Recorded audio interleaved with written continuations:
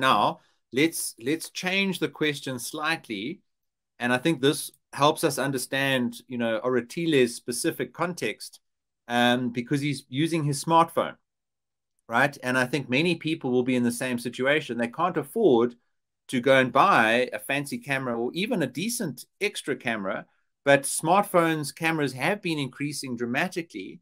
So, first question he's got there is, you know, is he setting himself up for failure? And the second question I would add to that is, you know, in your courses and in the community, are we going to have an aspect of teaching that focuses on people who are primarily using their phones to take images? Absolutely. Uh, no, I don't think you're setting yourself up for failure at all. Um, you, you're not. The, the best thing you can do is to go out at every opportunity and keep snapping pictures. I can share a little secret with you. I've often been next to Uncle Harry at the wedding. He gets better pictures than I do straight on the camera on the phone because you've then got to take your expensive camera images into Photoshop. The phone pictures are great. When you say overcompensate with editing, uh, I, I would just, I, you don't want to overcook your image. You don't want it to look like it's been falsely edited. Uh, it will pop naturally, but you don't want to bring it up too much. You just keep shooting on your mobile device. Uh, Photoshop mobile, there's Lightroom mobile. They're intended for this. Don't get fooled though by the and I, am just it just brought another thought into my head. Don't get fooled by Vodacom when they say they've got a hundred megapixel uh, Samsung smartphone out now. It's not necessarily all about the megapixel count. It's about the size of the image sensor.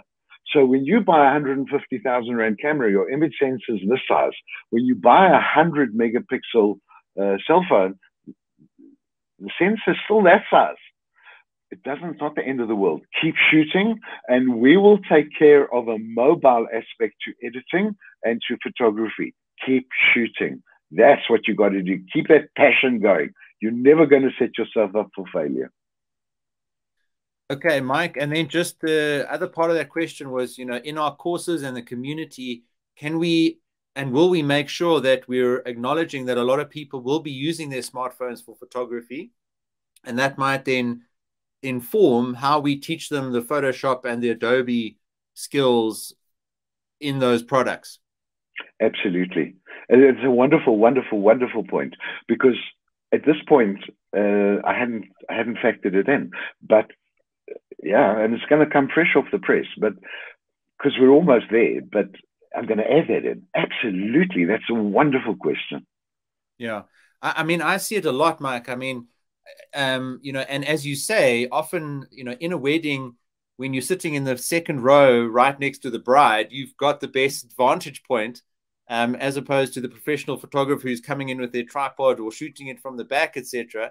So whether it's just because of the circumstance and the opportunity, or the simple fact that somebody can't afford to buy another device, another camera, um, it would be great, you know, if we can teach all these Adobe products and the skills for using those, but bearing in mind also that a lot of the original images are going to be coming from smartphones and how that might affect or inform or create opportunities uh, for for improving skills and uh, and working well with with smartphone photography. So Pam Pam agrees. A smartphone photography course sounds like a good idea.